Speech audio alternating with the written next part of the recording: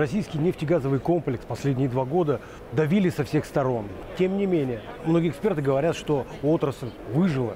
Выжила и крепко стоит на ногах. Ваша оценка на самом деле можно так сказать про нефтегазовый комплекс России? И разделяя нефть, газ, СПГ. Да, действительно, правильно разделить ситуацию по нефти и отдельно по газу.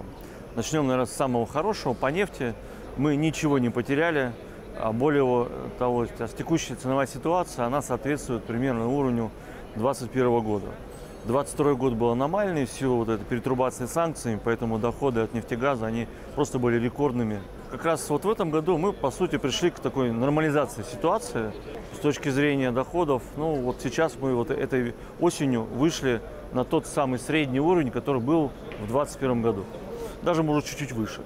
То есть сразу шли проблемы с дефицитом бюджета, ну, в текущем варианте, хотя по итогам года, конечно, накопленный дефицит бюджета остался.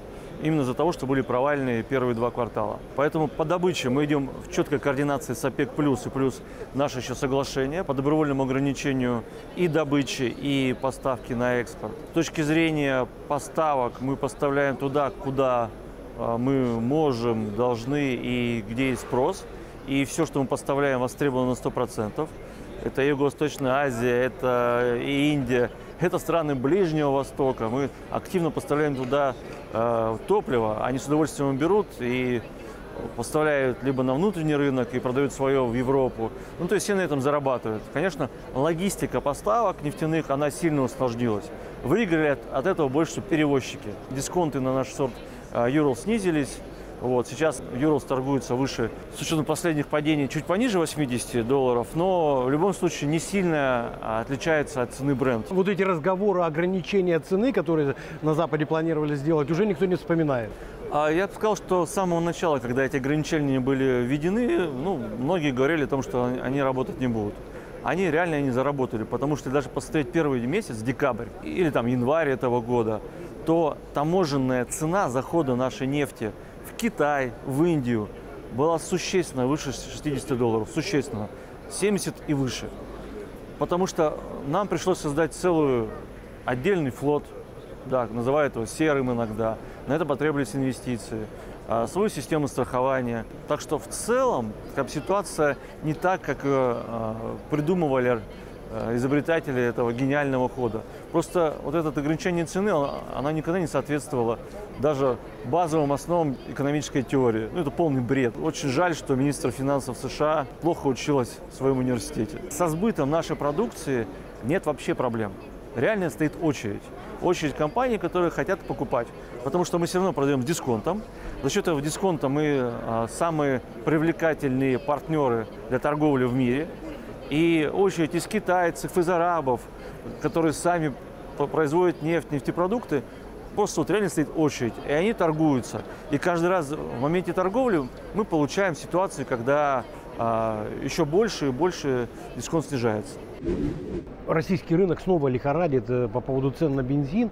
В этом отношении, как вы считаете, вот те меры, которые принимает правительство, ограничивая экспорт, как влияет вообще на ситуацию вот с нефтепродуктами в России? Действительно, ситуация назрела еще весной этого года, да, и в течение лета пытались как-то по-мирному договориться с нефтяниками, чтобы они оставляли, оставляли больше топлива, а, на бирже, вообще на внутреннем рынке. В это время, правда, Минфин а, урезал возможности обратного выплата нефтяным компаниям.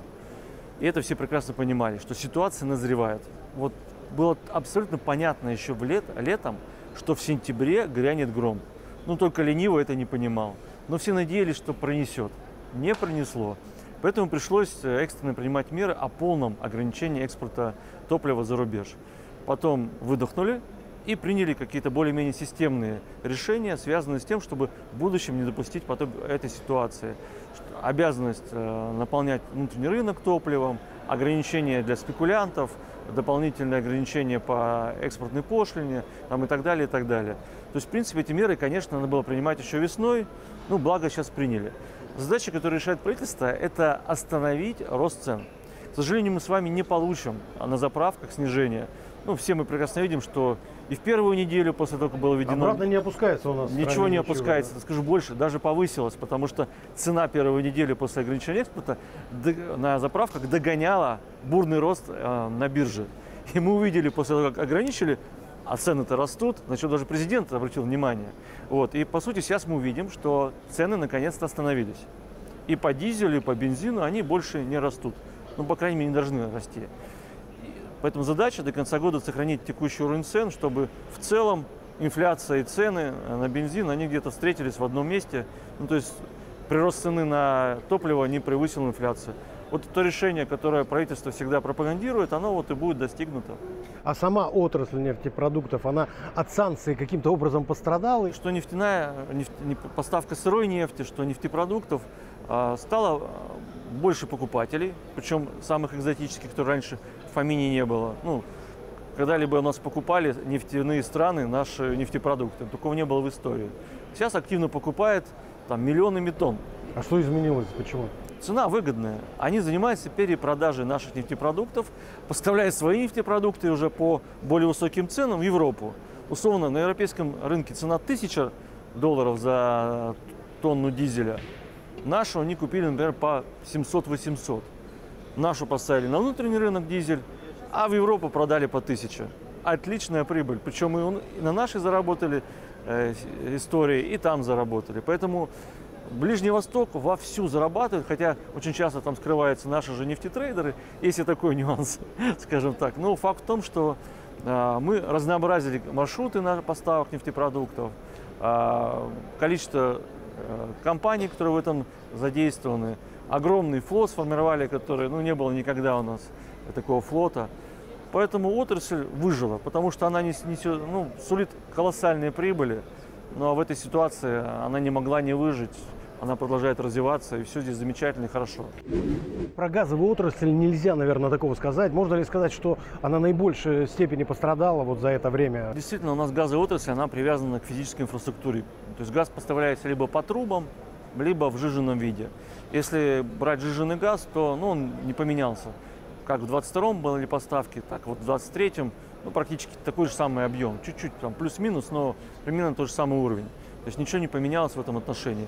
Но после того, как были ликвидированы северные потоки, вот, э, возможности поставки в Европу, они стали сильно ограничены.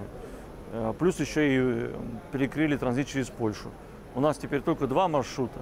Это ограниченный маршрут через э, Украину, который в два с половиной раза меньше того, что было еще там, не знаю, полтора года назад в виде контракта подписанного. И маршрут через Турцию – ну там тоже не очень большие объемы.